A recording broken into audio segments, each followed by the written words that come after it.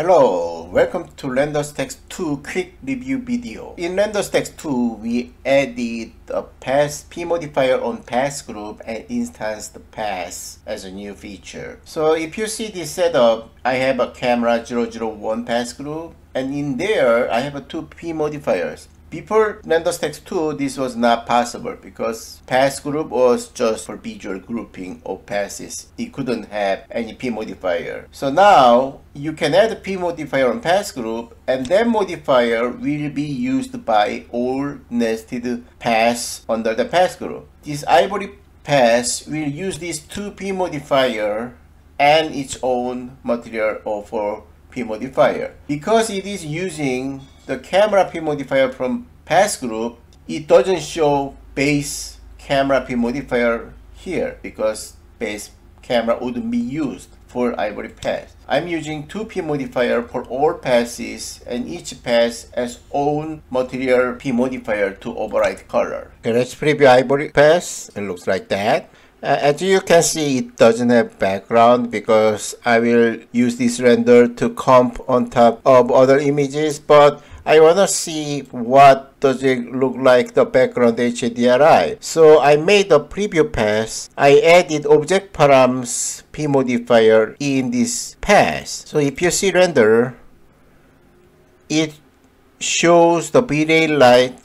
So what's happening here is in this camera 001 pass group has object params p modifier but this local p modifier on passes is overriding the p modifier on pass groups. Remember renderStacks execution order is always top to bottom and top hierarchy to lower hierarchy.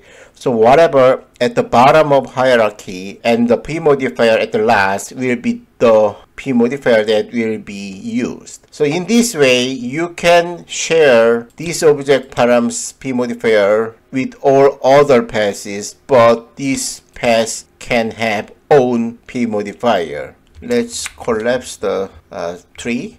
There is a duplicate button holding shift and duplicate. So as you see, it duplicate pass group with all the passes, but pass name is in bold. That means these two passes are instanced. In the duplicate pass, I change camera to camera O2. So now, these two pass will have exact same setup except camera.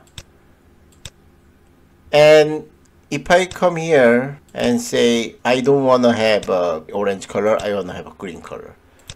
So I will assign the green color here and change name to green. And then if you see here, the P modifier name already changed and it also has green. So in this way, wherever you do in one pass will be applied to instance pass. You can just manage one set of passes here and then you propagate to all the camera. You can also add new P modifier. Then it will show up in instance pass 2 or you can delete a P modifier too. Then all those also propagate to instance P modifier. So, so as you see, you can have a same set of passes for like a 10 camera. Then if you have a 4 passes per pass group and if you have a 10 pass group, you can manage 40 passes. You actually manage only 4 passes because all 9 other pass group will just get the same pass setups. So that's it.